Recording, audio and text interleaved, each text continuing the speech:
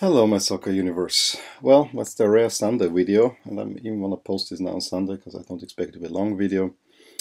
Uh, but there was a small and this time I'm actually not saying it jokingly.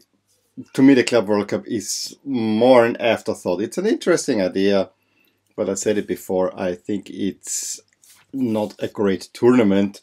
Um, and also admittedly because the Europeans don't make it a great tournament. Uh, on the other side, I don't know. Uh, the genesis of it is okay. Uh, with the Intercontinental Cup to uh, match up the Libertadores and the Champions League winner or European Cup winner. That I think was a great, great idea. There are some great matches in history there. Not least the first Flamengo Liverpool final, but uh, the Europeans never took it as seriously as the South Americans, and that created a problem. Now that you get a nice little patch here, and um, you know you can call yourself Club World Champion, and uh, you know Europeans put, uh, put a little bit more emphasis on it, and you could see that yesterday um, when Liverpool uh, started the game. And let me say, I was so happy to see that Liverpool had to be the home team because that uh, saved us from a weird color uh, matchup. I actually, though I like the Flamengo in red and black, I really love the white jersey with uh, just one red black um, band. And Liverpool in red is a much better looking file than if, say, Liverpool had played in their white jerseys where there's actually a little bit too much blue in there. I really loved that matchup a whole lot better. And you could see Liverpool from the get go was dangerous and tried to move forward. Um, and it took Flamengo about 15 minutes to gain control of the game. And then, for most of the time, you could describe the game. Flamengo having all the possession, having all uh, slight even control and more of the game, but Liverpool had the chances, uh, which was a little bit odd to see.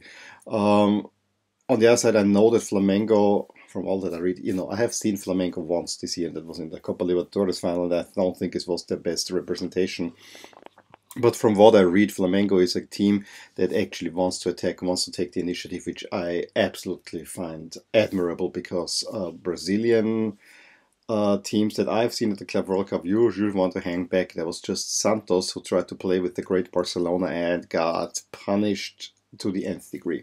Uh, that was one Club World Cup final that I was actually excited back then, and then Barcelona gives them a schooling, and I think Neymar from that moment on knew that he has to join and go to Europe. It is what it is.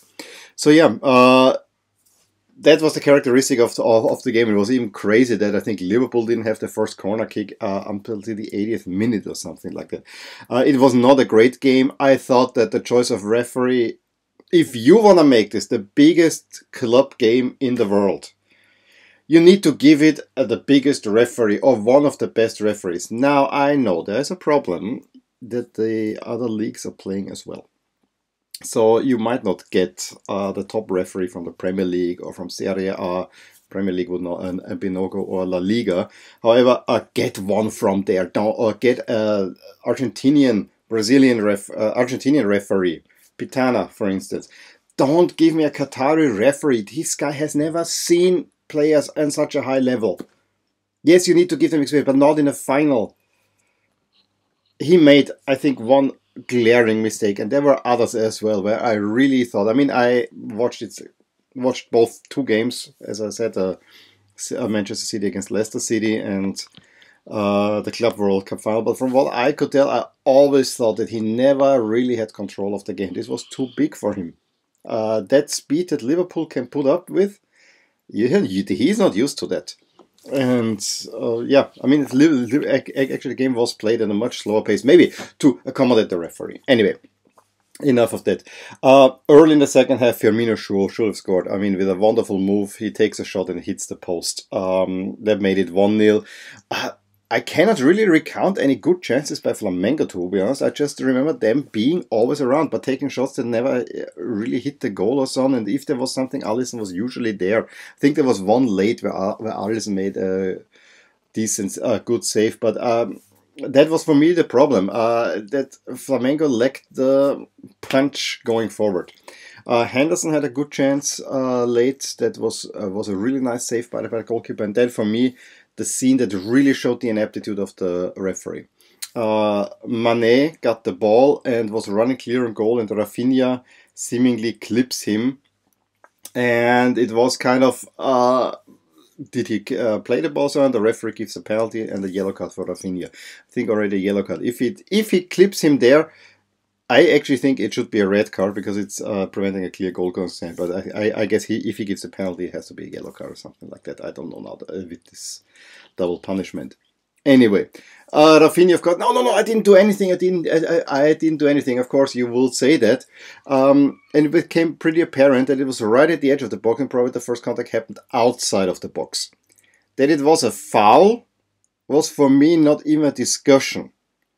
I think if it goes outside of box, you even need to give Rafinha, give Rafinha the red card. The referee waves it off that there was nothing. That was absolutely a ridiculous decision in, on my part of view. And honestly, I was more for Flamengo in this game because I know it means more to South Americans. And uh, so I and I wanna have that it's a little bit more competitive. They're not just the Europeans go up, play it, da da da da, and win it. I want that some other uh, countries win it. I'm so, but that decision was so ridiculous absolutely ridiculous that showed the ineptitude of the referee. Well, so it goes to overtime. The last thing that I think at least Liverpool wanted. In overtime, Arne count counter in the 99th minute. Uh, the ball goes to, to Mane, who binds two players. Firmino is free. Uh, plays the ball over to Firmino, who has all the calm collectedness to go over, puts it into, into the net. And I knew from that point that the game was decided. Um, yes, there was a good chance, I think, by Junior very, very late, late in the game, but he mishits the ball. Uh, I think right after the 1 0, Salah could have made it 2 0. In the end, I think we know who we knew who the better team is from the get go. I mean, if I see Flamengo is an exciting team to watch, but if I see their most known players, those are players that have formerly played in Europe and are not uh, that great anymore. And this is something where we have to think about how can we, and I know that we don't want to think about that, how can we make this more competitive that the Brazilian stars actually stay in Brazil? That would be something that we have to think about. That uh, not a Brazilian scores the winner against a Brazilian team, um, those are things that uh, would be needed to make this whole thing more competitive. This Club World Cup in this iteration, and even let's say even if they would make a 16 team tournament with let's say four Europeans, four South Americans, and fill in from the other uh, countries, it will not get more exciting because uh, I would expect uh, at least three Euro, Euro Europeans in the semifinal, um, and then we might get something good. But the, what the Champions League has is that you have home and away games. And there's a completely different atmosphere to them. That makes it special. And that it's all kind of, I don't think a Club World Cup, just by the sheer idea, can work and can surely not work in an athletic stadium in Qatar, where yes, there are some fans there, but the atmosphere gets completely lost. So yeah, um, we also had the third place game where Monterrey uh, beat Al Hilal after 2-2 on penalties, and so we have Liverpool uh, champions Flamengo second, Al and Monterrey third. Kind of almost like I would have expected from the get-go. Anyway, let me know what you thought about the Club World Cup, the Club World Cup final. Uh, there is a video somewhere on my channel on how to improve the Club World Cup. Um, I actually should rewatch it and redo it Give me a thumbs up if you enjoyed this video, subscribe to my channel if you want to see more. I'll talk to you soon. Bye. Hey there, I hope you enjoyed this video and if you did, here are some videos and playlists that would be of interest to you too.